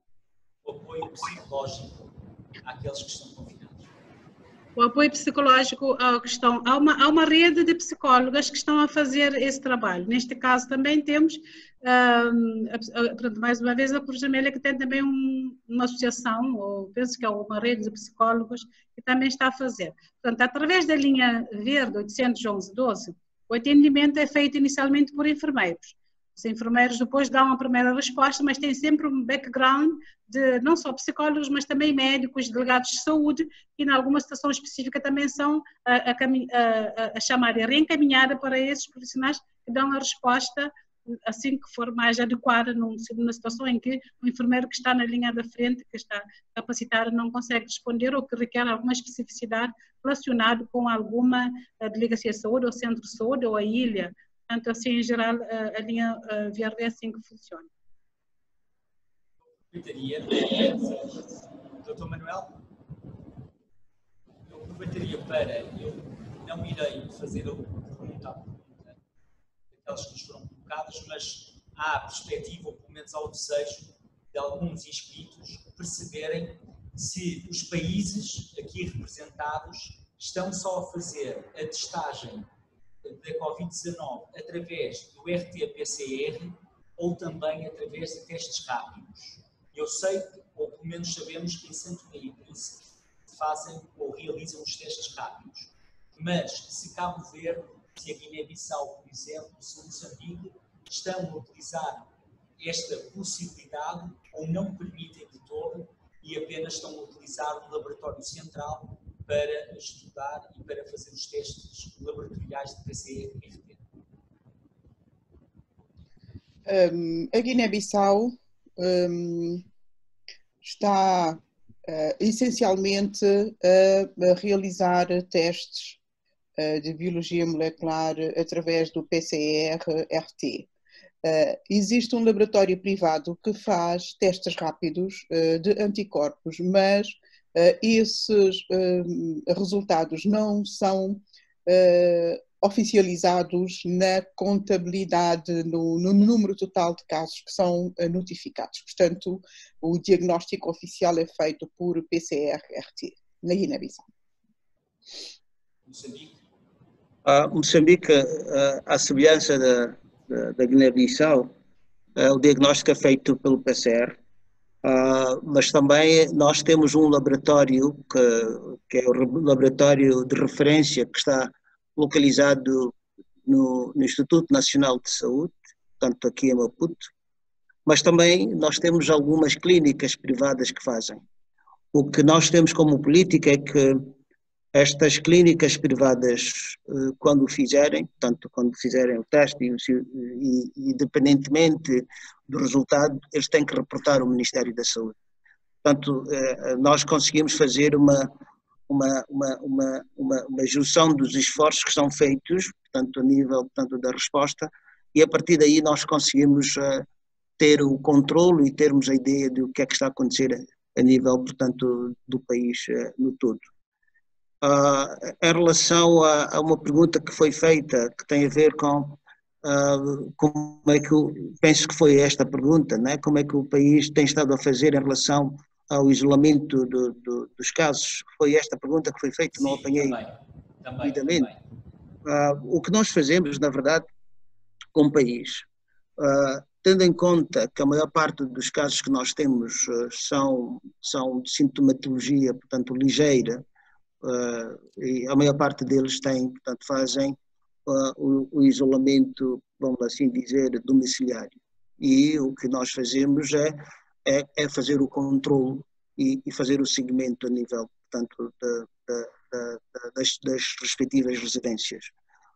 Então não preciso, nós não temos, o, vamos assim dizer, uh, o isolamento institucional para, só para aqueles casos que precisam de facto de internamento, cuidados médicos, esses sim, esses são é que vão para uh, as unidades sanitárias preparadas para, para o Covid-19. Elisa, relativamente à Angola, quer responder ou dar o seu contributo sobre estas duas questões de estágio e até o isolamento? Também já falou. É, estamos, estamos a testar, estamos a testar também com métodos de biologia molecular. Uh, temos em Luanda quatro laboratórios. Uh, temos a nível de duas ou três províncias também laboratórios que estão a testar, porque inicialmente nós estávamos a testar uh, na África do Sul Inclusive, quando as pessoas diziam que, ai, como é possível que Angola não tem casos positivos ainda, a resposta é que nós dizíamos, nós não estamos a testar aqui, estamos a testar na África do Sul, caso houvesse casos positivos, a África do Sul já teria reportado à OMS. Entretanto, estamos satisfeitos porque só em Luanda já temos quatro laboratórios. Eh, as unidades privadas, nós, portanto, a pandemia é considerada um problema da nação. E então todos estamos engajados, quer o privado, quer o público, estamos todos engajados. As quarentenas institucionais são custeadas pelo Estado angolano, estão os profissionais de saúde, quer do privado, quer do, do Estado, estão todos juntos a trabalhar. Portanto, nós estamos todos juntos a trabalhar porque consideramos que é um problema de Estado, de nação, então nós eh, estamos todos juntos a trabalhar. Doutora Maria, tem que ligar o microfone. Uhum, obrigado. Uh, para Cabo Verde, uh, todos o diagnóstico é feito sempre com a biologia molecular, não é como é recomendado. Portanto, é feito aqui a nível do, da cidade da Praia, no laboratório de virologia, Todas as ilhas mandam para aqui, portanto, tem um único laboratório de referência que, que, eh, que também faz o diagnóstico de todos os casos de Covid por PCR-RT. Uh, os testes rápidos já começaram a ser introduzidos, não para diagnóstico, porque também já se sabe, não, é? não são recomendados para diagnóstico, nem foram aprovados, pelo menos até onde sei, pela, pela OMS, têm estado a ser utilizados, por exemplo, nas comunidades. Também algumas clínicas estão a utilizar isso nesse aspecto há uma parceria muito, muito boa, porque pronto, tanto os testes que são realizados na comunidade pelos, pelas autoridades sanitárias, como as que são utilizados nas unidades privadas. Por exemplo, se o, o teste é IgG, IgM, quando é IgM positivo, portanto, faz-se a colheita do, portanto, do chorado, nasofaríngeo e assim envio para o laboratório de virologia. Portanto, há essa articulação que, que se fazem, portanto, entre os, os, serviços. Mas o diagnóstico definitivo é sempre pelo PCR-RT. Bem, vejo que temos aqui uma pergunta colocada pelo Dr. Ricardo Mexia, que é presidente, é especialista em saúde pública e presidente da Associação Nacional dos Médicos de Saúde Pública em Portugal. Se nos estiver a ouvir e quiser ligar o seu microfone, Ricardo.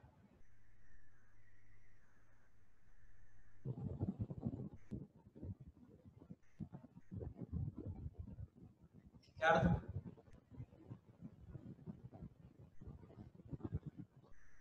Bom, há, há, há, há várias questões relativamente a, e que já foram sendo respondidas pelas intervenções de todos, mas eu se calhar reforçava aqui um pouco esta questão, porque de facto o continente africano e sobretudo os nossos países lusófonos têm sido vistos como um exemplo a nível mundial. A OMS já referi, reportou uh, a idade jovem da população. As Nações Unidas referem que 60% da população africana tem menos de 25 anos e uh, a antecipação, as medidas de antecipação perante, perante a pandemia e tendo em consideração os exemplos que estavam, que estavam a ter nos outros locais do mundo, se foram boas medidas preventivas para o controle, para a mitigação da disseminação da doença nos países. Eu creio que isto, no fundo, no geral, já foi de certa forma respondido por todos, mas há muitas questões desse tipo aqui e a perguntarem quais os grupos etários mais afetados, se as medidas foram ou não eficazes, se todos os países estão a ser totalmente transparentes naquilo que são os números eh, noticiados e se a tal capacidade de estágio.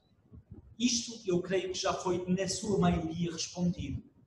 Agora, a grande questão é como é que vamos fazer as medidas de diminuição de confinamento? Ou seja, vamos fazer medidas de uh, aliviar a população para uma maior circulação, porque sabemos que estes períodos de emergência em saúde pública ou de calamidade em saúde pública trouxeram enormes constrangimentos à economia, ao setor social e até à saúde mental das populações. E por isso eu fazia também esta ronda de saber como é que estão, enquanto peritos, enquanto técnicos, a aconselhar os políticos, os governantes, para estas medidas de, de entre aspas, desconfinamento da, da população começaria por, eh, por Moçambique, depois passava para a doutora Magda. Ah, em Moçambique, o que nós temos estado a verificar é que, como disse, acho que foi o penúltimo slide que eu apresentei, eu falava tanto daquilo que é a fragilidade que temos uh, no âmbito uh, de, de, de, de, económico, a maior parte das, das pessoas, das famílias, uh, estão no setor informal.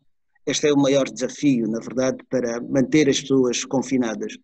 Entretanto, o que tem-se estado a fazer e o que tem-se estado a discutir, e como disse também, nós temos uma, uma, uma comissão técnica e científica que vai aconselhando uh, uh, ao Presidente da República em relação a que medidas tomar e como tomar essas medidas.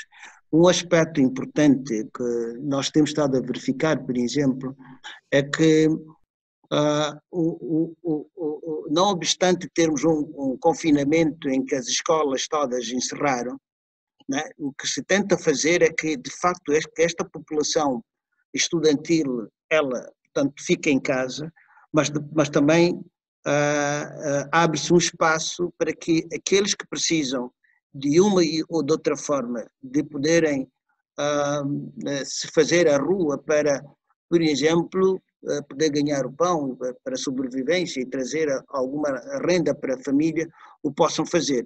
Naturalmente, dentro de, de, de, de um espaço importante em que as pessoas estão, portanto, estão, vão fazer o, o, o seu negócio informal, mas até às 17, às 18 as pessoas voltam para as suas casas. Isso é que tem-se estado a fazer. Mas também aqueles negócios informais que têm a ver com venda de bebidas, isso, isso não é permitido. Mas outro tipo de, de, de, de, de, negócio ou de, formas de ganhar a, a, renda, portanto, as pessoas têm estado a fazer, mas sempre uh, lembrando que quando é possível ficar em casa, é melhor. Em relação àqueles que têm uh, emprego, portanto, formal, Uh, o que as empresas e as instituições públicas têm estado a fazer é, portanto, há, há, uma parte do, do, do, dos funcionários ou do pessoal que fica, portanto, em casa e, portanto, este, este processo é rotativo. Em algumas empresas é semanal, noutras empresas é, é, é, é quinzenal e dependendo daquilo que são as opções. Mas o que tem estado a ser uh, uh, recomendado é que aqueles que podem, portanto, uh, ficar em casa e não se fazer a rua é, é, é melhor. Então, há este tipo de, vamos assim dizer, de tentar jogar com aquilo também que são um, as limitações do próprio sistema, mas também a sobrevivência das pessoas. Obrigado. Obrigado, doutora Magno, por favor. Muito obrigada. Um, na Guiné-Bissau, uh, eu penso que uh, está patente que as medidas de confinamento e o estado de emergência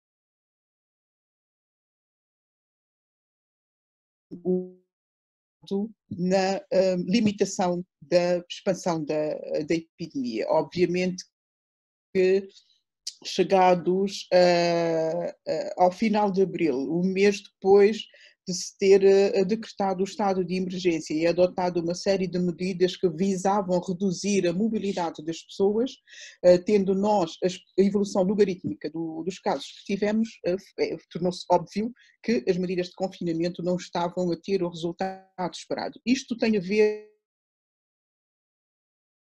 inicialmente, primeira a crise política que criou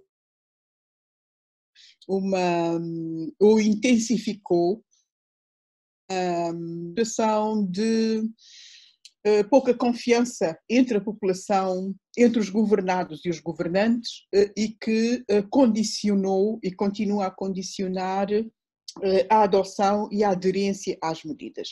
O segundo aspecto, também muito importante, é a natureza, o padrão informal da nossa economia. Tendo uma, uma grande parte da população a viver sob um, o, o, o, nível de pobreza extrema uh, com atividades no setor informal e dependendo uh, das receitas diárias para a sua a subsistência, naturalmente que uh, o slogan Fica em casa não, não, não faz eco a, a nenhum guineense porque ficar em casa implica não ir trabalhar e não ir arranjar comida para pôr na mesa. Portanto, eu penso que uh, para o nosso contexto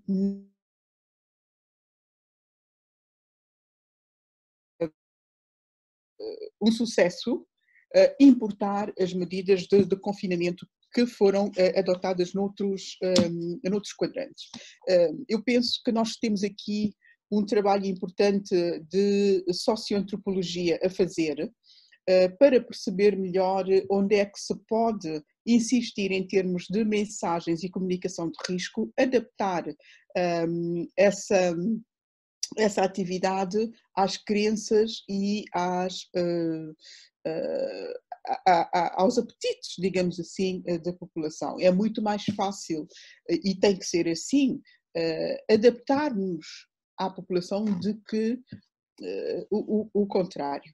não sei se respondi a, a todas as questões que colocou. Doutora Elisa Gaspar, por favor, quer. Olha, a semelhança, os nossos países africanos têm muito mercado informal e naturalmente que as pessoas vivem vendendo hoje para comer hoje mesmo, vivem na rua praticamente. Então, estas medidas de confinamento, naturalmente que nos primeiros 15 dias não surtiu efeito. E voltou-se a prorrogar mais 15 dias e aí vimos uma diminuição da população, mas entretanto o governo decretou que esta, esta população que necessita do dia a dia para comer fizesse mercado duas vezes por semana, que era as terças e, as, e os sábados, mas que todo mundo utilizasse máscara, que todo mundo utilizasse o gel álcool, todo mundo lavasse as mãos com água e sabão. Foram criadas condições em quase todos os mercados que que, que estavam a funcionar, tanques de água, cisternas de água, sabão azul para todo mundo e nós até temos a sorte de nós fazermos, fabricarmos sabão, tanto artesanal como industrial, então foi-se dando essa população o sabão, a água, e inclusive as famílias mais carenciadas, o governo angolano tem estado a dar cestas básicas. Nestas cestas básicas também já vem a máscara, já vem o sabão, para elas poderem higienizar eh, as mãos e, e não só.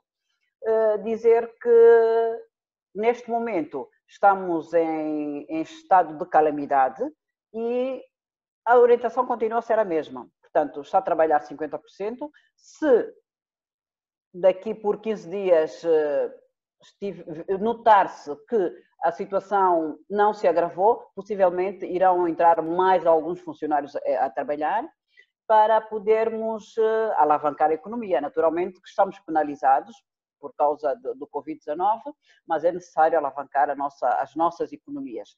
Porque se nós uh, nos protegermos, se uh, nós nos prevenirmos conforme as recomendações nacionais e internacionais, acredito que iremos fazer com baixar ou reduzir a contaminação do nossos, dos nossos povos. Muito obrigado, doutora. Doutora Maria Luz Lima, quer fazer um. Assim, bom, eu acho que já a realidade não é muito diferente, portanto, claro. não tem muito mais a acrescentar. Realmente manter o desconfinamento, o, o desafio do, do desconfinamento é realmente é igual aos países, esse desafio. Uh, a aposta tem que ser, como já foi referido aqui realmente, é na, na prevenção e na comunicação do risco e envolvimento comunitário. Por isso, aqui na praia já estamos a ir para as comunidades, né, devidamente, pronto, com equipamento de proteção individual, mas de fazer quase esse apelo porta a porta, não é? Eu acho que tem que ser neste aqui e esperar que realmente a, a comunidade possa responsabilizar-se pela, pela adoção de medidas um, de medidas de prevenção para a cidadania em saúde. Eu acho que é, que tem que ser a aposta e vamos acreditar que vai, que vai resolver o problema obrigado. Eh, nós podemos ver agora quais foram as opções dos nossos eh, ouvintes sobre a classificação por áreas prioritárias para, eh, a desenvolver na resposta à Covid-19. A primeira área, educação da população, que muito se falou aqui hoje. A segunda, o fornecimento e aquisição de testes, medicamentos e equipamentos de saúde. A terceira, a formação dos profissionais de saúde, que é tão importante a investigação e a cooperação, e aqui o reforço deste diálogo e cooperação entre os países oficiais de língua portuguesa e a contratação de profissionais de saúde por último. Eu não queria, o tempo já vai longo, já estamos para lá de uma hora e meia de, de debate, Mas eu, eu, eu gostaria de fazer uma última pergunta, que também é uma pergunta muito frequente aqui no nosso questionário e do, dos que nos estão a ouvir, e que seria a seguinte, e eu com isto despedia, porque gostaria que fosse a doutora Elisa Gaspar a fazer esta última intervenção e se calhar a encerrar eh, e a fazer as últimas saudações, mas a, a questão seria esta e pedia que num minuto todos, eu sei que é um exercício difícil, mas pudessem responder.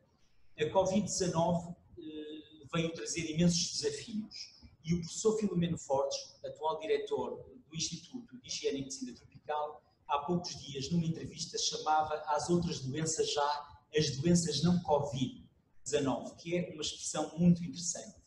E quais são os desafios em cada um dos países do acesso aos cuidados, à medicação das outras doenças e, por exemplo, também quais foram as medidas de proteção àquelas populações mais vulneráveis durante esta crise sanitária. Eu, com isto despeço-me, agradeço a todos e peço que, no minuto, um minuto e trinta, possam fazer as vossas intervenções sobre o tema. Doutora Maria dos Lima, começamos por si. Obrigada. Assim, no minuto fica difícil, mas pronto, eu acredito que, é como a gente fala sempre, é não descurar também, porque a preocupação geral neste momento é realmente o recrudescimento das outras doenças, não é? E aqui temos estado a fazer esse apelo para os serviços de continuar na, na vigilância das outras doenças, na questão da vacinação, pré-natal, portanto, que são questões importantes que devem continuar durante, e já começaram, que devem continuar durante essa pandemia para que realmente o país não perca os ganhos conseguidos né, até agora nesses, nessa luta que tem, sobretudo relativamente à saúde. E continuar a apostar na, na, na prevenção. Uh, isso é que é a, a, nossa batalha. Realmente, pronto, como eu disse há bocadinho, vamos esperar que todos, eh, toda a população possa realmente aderir e, continuarmos assim, com essa epidemia controlada. Vamos lá vamos rezar. Obrigada pela participação mais uma vez.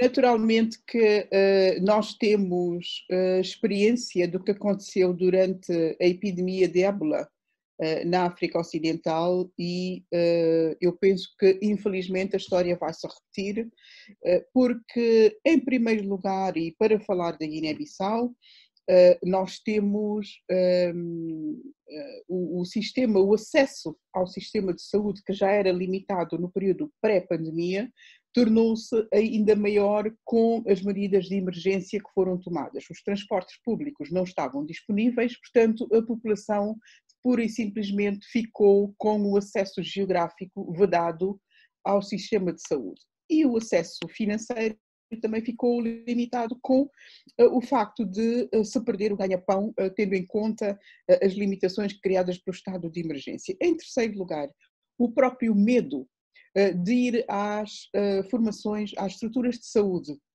medo de contrair o Covid, também teve o seu, eh, o seu impacto no acesso a, a esses serviços. Infelizmente,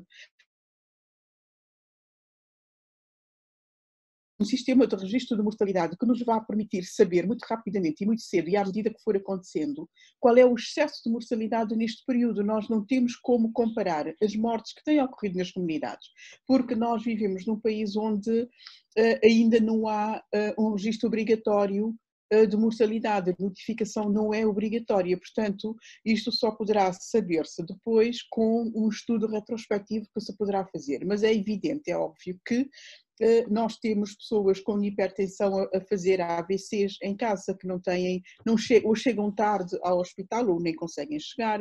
Um, Uh, o, o, os programas de VIH e tuberculose uh, começaram a tentar uh, disponibilizar 3, 4 meses de tratamento para os pacientes, mas isto também tinha o facto da não programação de quantidades de estoque que permitissem uh, fazer isso. Portanto, era necessário uh, ter um, uma, um aprovisionamento para poder um, dispensar uh, esses medicamentos. Eu penso que neste momento, com o levantamento das medidas drásticas de, de, de prevenção da, da mobilidade e se nós conseguirmos reforçar a formação em termos de prevenção e controle da infecção para evitar uh, que o pessoal de saúde um, eh, se, uh, se contraia a doença e que os hospitais e centros de saúde sejam focos de infecção, nós poderemos organizar triagens para melhor atender a pacientes com, com outras patologias, nomeadamente aquelas que mais matam, e estamos a chegar à época das chuvas,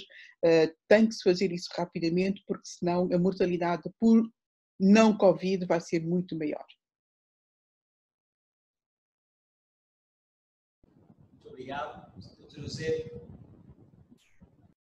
Uh, em relação a, a, Moçambique, na verdade, a semelhança do que disseram as, as minhas colegas é que nós começamos, de facto, com a, a pandemia de Covid, nós começamos a, a verificar uma redução na, na afluência às unidades sanitárias por diferentes razões, uma, algumas foram aqui uh, citadas. E, o que nós estamos a, a fazer como país é, foi é, iniciarmos com uma reorganização daquilo que é o atendimento a nível das unidades sanitárias e estabelecer, por exemplo, dois fluxos. Uh, daqueles que, para aqueles doentes que, que, que, vão, ou aquelas, os utentes que vão às unidades sanitárias, elas têm logo a partida portanto, um espaço para uma pré-triagem e aqueles que eventualmente são suspeitos ou têm febre e outros sinais que, que são relativos ao Covid, portanto, vão, vão para uma outra, para uma, uma, uma ala e aqueles que vão para outras uh, uh, necessidades em termos de atendimento na unidade sanitária, tanto vão para, para uma ala de, diferente. E um aspecto importante que, que iniciamos foi reconhecer que eh, é importante fortalecer o sistema comunitário de saúde. E iniciamos com uma série de formações de atores comunitários, visando, por um lado, assegurar que aquelas doenças que já temos maiores ganhos, continuemos já, a, no mínimo, a identificar as pessoas e a permitir com que, e a fazer com que as pessoas que eh, que, que, que já estão dentro do programa, elas continuam a beneficiarem-se daquilo que são os serviços e, ou eh, continuem, portanto, a, a, a irem para unidades sanitárias e assegurar a questão da referência. Este é o maior desafio que nós temos, porque sentimos que, mesmo assim, ainda continuamos a ter pessoas que têm algum medo de ir à, unidade sanitária por medo e por outras razões, e às vezes é mesmo a questão de, de da interpretação de confinamento. Portanto, a, a, a questão das distâncias, dentre outros aspectos. Então, um aspecto importante que, que, que, pensamos que é importante assegurar no âmbito de continuarmos com os ganhos que conseguimos alcançar e, e, e não criar problemas é efetivamente uh, o treinamento dos atores comunitários, a identificação de sinais e sintomas, portanto, das doenças que são prevalecentes na comunidade e criar sistemas de referência uh, para as unidades sanitárias. E o que nós estamos a pensar é que, uh, havendo necessidade, é criar a nível, portanto, daquelas comunidades com maior aglomerado populacional ou com casos portanto, com muitos casos eh, de, de Covid e outros, outros, outras doenças, criar postos comunitários de saúde, em que, em que vai para lá o, o, uma equipe de saúde que vai fazer portanto, o rastreamento e fazer as referências de vida. Portanto, esta, esta, esta pandemia eh, de Covid, ela traz, na verdade, uma, um, um grande desafio para os sistemas de saúde, sobretudo para sistemas de saúde como os, uh, os nossos. Obrigado. Obrigado, doutora Elisa. Eu antes de pedir-vos a todos, se a quem quiser avaliar este webinar, pode novamente entrar no site menti.com com o mesmo código 717831 e com uma palavra, com breves palavras, descrever a avaliação deste, deste nosso debate. Muito obrigado, doutora Elisa. Por favor, pode encerrar agradecendo a todos. Dizer que nós eh, fomos chamados, Ordem dos Médicos de Angola, para fazer formação, com total apoio do Ministério da Saúde. Nós criamos uh, formadores, portanto, tivemos uma facilitadora que formou um grupo de formadores e logo a seguir nós, os angolanos, dividimos-nos para fazer formação a todos os profissionais de saúde. Eh, naturalmente que a formação foi para informarmos os nossos profissionais como trabalhar na triagem. Então, a triagem tinha o profissional que, numa primeira fase, identificava o que é que a pessoa tinha. Por exemplo, a pessoa chegou, tem tosse ou tem febre. Eh, fazemos as perguntas, teve contacto, esteve fora com alguém que tenha vindo do, do, do exterior, se não, se o paciente disser que não, passamos para um outro colega. Se o paciente disser que sim, chama-se o 111 e o 111 vem buscar eh, este paciente. Eh, portanto, todos aqueles que tiveram tosse e febre tiveram contacto com pessoas que tinham vindo do exterior, passávamos, chamávamos o 111 e, e, e o 111 vem para tratar deste assunto. Por isso, nós não, não, de forma nenhuma, negligenciamos as outras patologias, porque parte do princípio que, independentemente da pandemia ter causado medo, eh, pronto, para nós foi uma coisa muito, penso que para todo mundo, não é? Todo mundo ficou com medo, mas eh, nós, eh, durante a formação, fomos passando esta informação aos técnicos e eles, naturalmente, que ficaram preparados para a triagem destes pacientes. Naturalmente que tivemos eh, que informar a esses colegas que tinham estado devidamente paramentados para não se contaminarem, nem contaminarem outros pacientes. Dizer que a, pand a pandemia causou, causada pelo Covid-19 veio mostrar ao mundo que não existem países com sistemas de saúde sem fragilidades, ou seja, sem pontos fracos. Este é, é um legado que ficará registado na história da humanidade pelo elevado número de pessoas que ficaram contaminadas e pelo elevado número de pessoas que vieram ao óbito pela natureza da própria eh, doença do Covid-19. Mas também iremos aprender a programar devidamente e a sermos capazes de elaborarmos planos para enfrentar futuras eh, pandemias, para que qualquer um dos países esteja preparado se bem que temos experiências de países que já tiveram outras uh, epidemias, outras pandemias, mas uh, dizer que sempre há fragilidades. Então temos que estar preparados para cada vez mais percebermos que no mundo podem acontecer várias pandemias e temos que estar preparados. Naturalmente, formação de quadros, formar cada vez mais, capacitar cada vez mais os quadros de, de, de, do Sistema Nacional de Saúde e podermos uh, dizer Sim, temos eh, quadros formados, temos quadros capacitados, temos unidades hospitais, hospitalares capazes de uh, receber os, os, os pacientes ou as pessoas que estiverem afetadas pelas diferentes epidemias. Quero agradecer a todos os preleitores, agradecer a todos os colegas, à comissão organizadora, e dizer que este, isto é o início, isto é o início, porque daqui para frente acredito que o mundo não será o mesmo, nós não seremos as mesmas pessoas e então penso que teremos muito mais amor ao próximo e iremos aproveitar a, a ciência e as tecnologias para estarmos cada vez mais próximos eh, por essas videoconferências. Obrigada.